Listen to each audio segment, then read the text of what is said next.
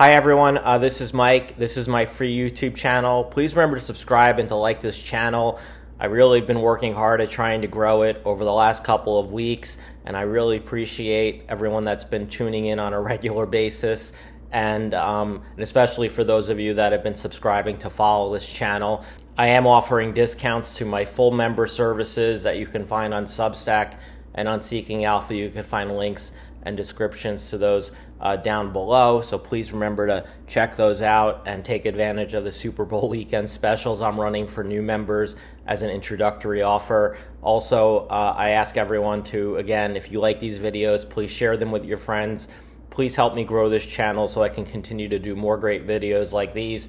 Remember, what I'm trying to do here is just try to bring to you the data and the information that are driving markets on a regular basis um, and trying to just help people uh, understand what's happening and what's uh, really behind a lot of the price action we're seeing so that you can make hopefully better informed uh, decisions on what best see, what best uh, fits your financial needs. So uh, this week, obviously, we're going to have uh, the big CPI report, and this I think is going to be an interesting report just because uh, this is potentially going to be the first time we're going to see CPI actually fall below the 3% mark uh, in some time.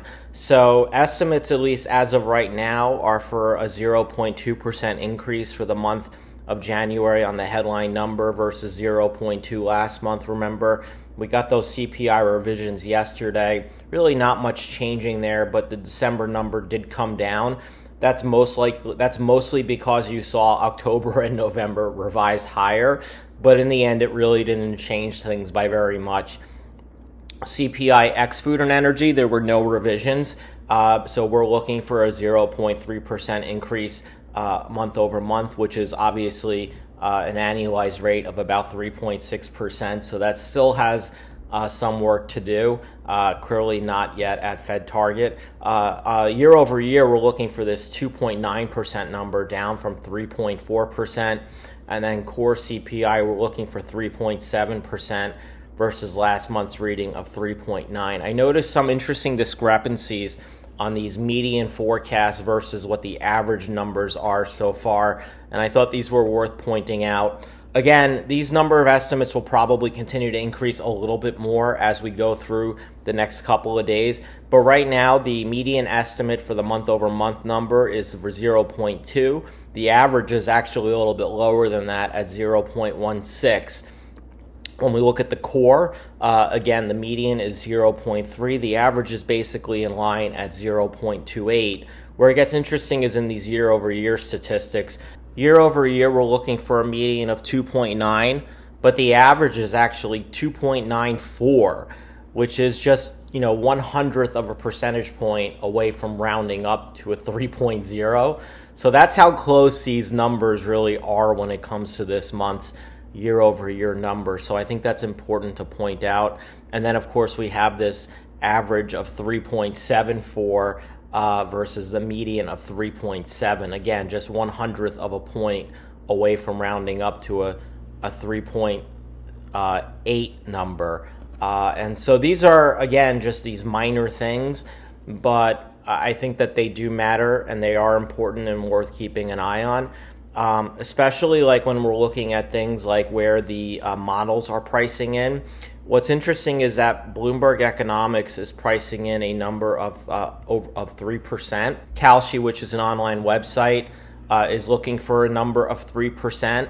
Uh, CPI swaps are pricing in 2.93 percent, and the Cleveland Fed is looking for 2.94 percent. So all of these models together, uh, coupled with the uh, the average are all telling us that the expectation is for a number to come in uh, above the median estimate of 2.9%. It's just a question of how it rounds now. Is it going to round up to a 3 uh, or is it not going to round uh, enough and just come in at 2.9? Obviously, I don't I don't know. Um, but I think these are just little uh, intricacies that could end up playing out I'm going to be updating these numbers, uh, of course, on Monday and subscribers of the services uh, as I get them and continue to monitor them. So if you want to continue to get a sense of this, please remember to check out those services. Um, also, what I find really interesting, I guess, uh, again, when we look at the um, ISM services for the month of January, it had a, a seven and a half percentage point increase um, in the month, 7.3 percentage in the month of uh, January. Um, that was actually the largest increases in services prices going back to August of 2012, and that eclipsed all the big gains that we saw in uh, much of 2021, uh, 2020, 2021, and 2022. So this was obviously a, a, very big change, and you know the reason why ISM services matter quite a bit uh, is when we look at when we look at services prices, we know that this is obviously a big component to CPI overall. And when we look at these services prices overall, um, we can see that services prices have been a pretty decent indicator of future direction of year over year changes in CPI. And at least as of this moment in time, it would suggest at some point down the road, we could see service prices, uh, we could see CPI uh, begin to increase again. Again, it, it doesn't tell us when. It could be this month, it could be next month, it could be March.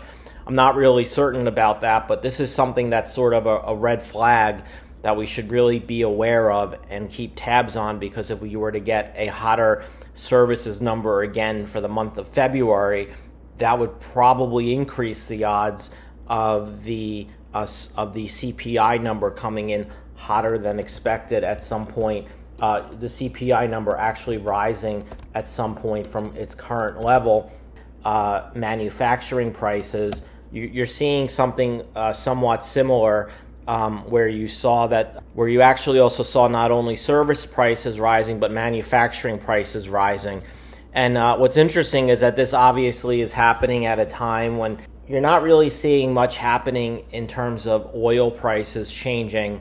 Um, in fact, oil prices really haven't done very much. This was obviously the summer months but really oil prices have just been um, in a range, call it between 70 and, and 80 now for a couple of months, and really have been more in the 70 to call it 90 range now, going back for almost two full, almost 18 months now. So oil and energy prices really haven't really been, or they aren't really going to be much of a factor, at least uh, initially, uh, in inflation in the near term.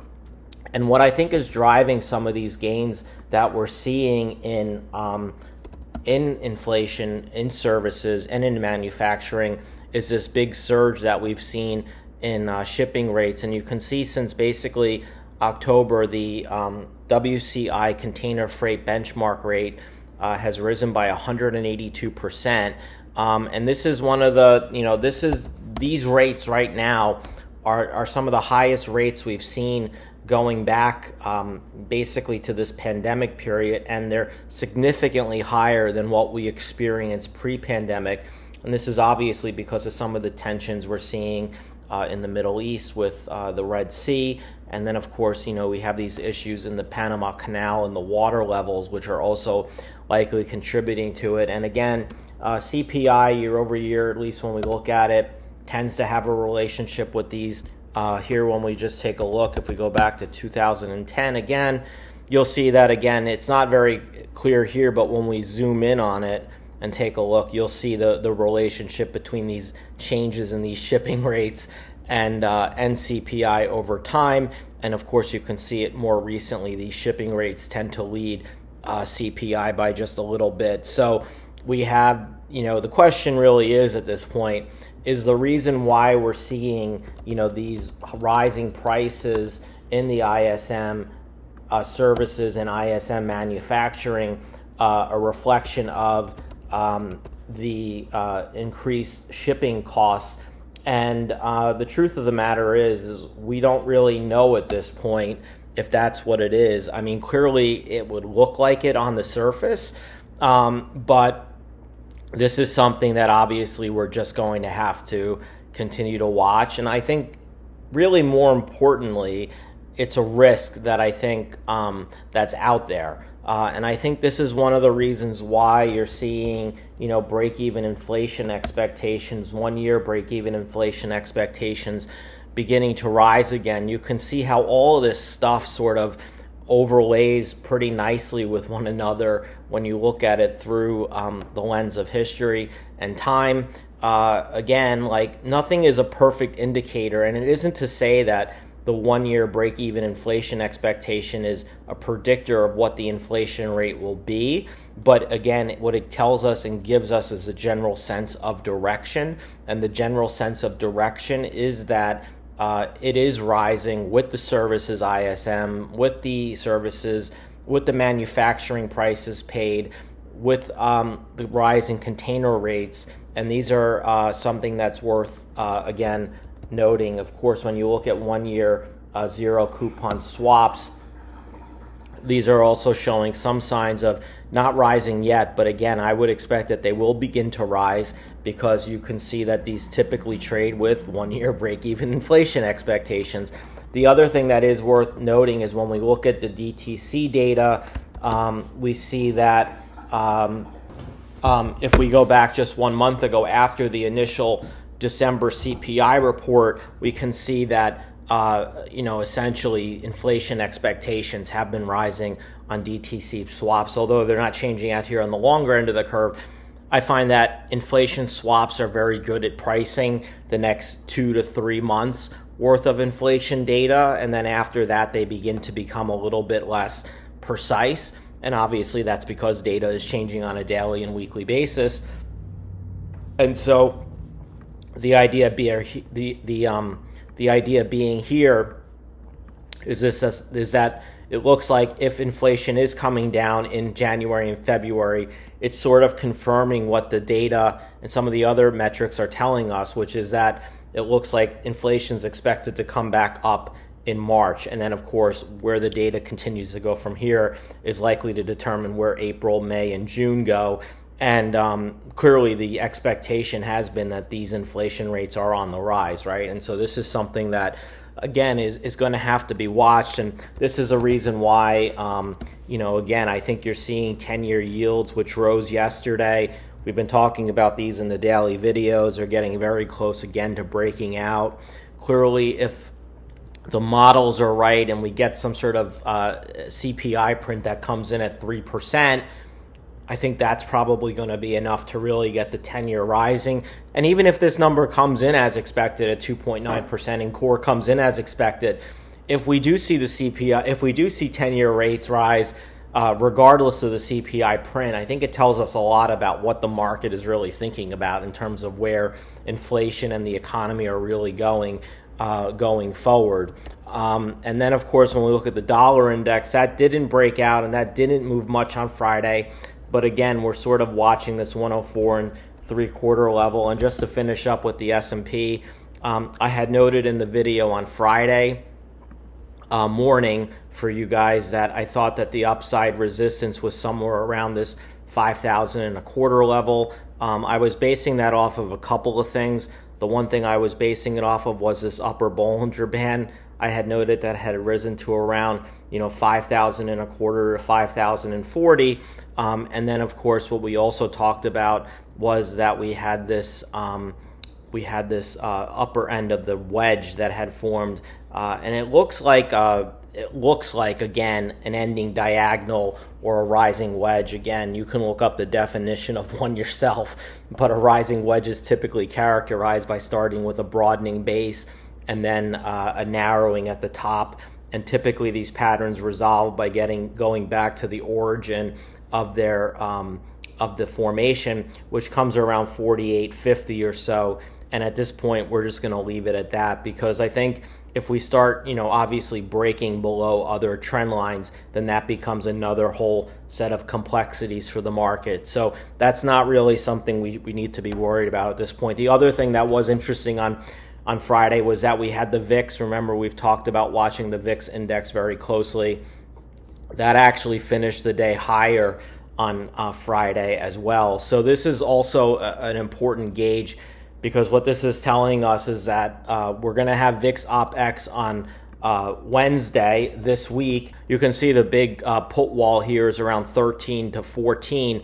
And this has really been why, you know, the, the VIX again can't get past this 14 area the last couple of days. But this will go away come Wednesday or so.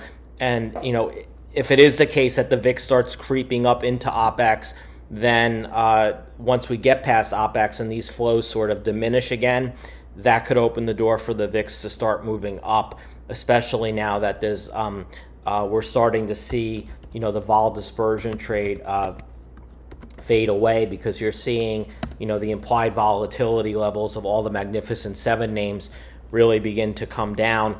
And despite um, NVIDIA continuing to uh, rally, what you're actually starting to see is, is the implied volatility level really settle out. Um, and this is typically an indication of, again, a stock that's, you know, that's sort of in a gamma squeeze where the gamma squeeze is starting to fade. And typically the things that I look for in a gamma squeeze, just to finish this off, uh, is when you get a condition where you have, you know, the call implied volatility higher than the put implied volatility. Uh, in this case, what I'm using is the 105% moneyness versus the 95% moneyness. Uh, representing upside, representing downside. You can see 105 is priced above the 95, which is giving you a negative skew. You can see call volume actually was, I thought it was, it had been declining and it actually spiked on Friday. You can see put volume also spiked on Friday, but you can see the put to call ratio actually dropped which is because you had, even though you had put volume up, call volume was up more.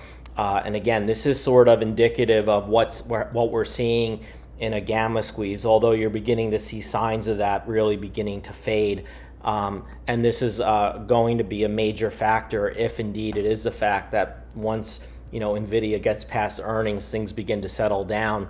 Uh, that this trade will begin to unwind some, and that will complete the the cycle for implied volatility dispersion.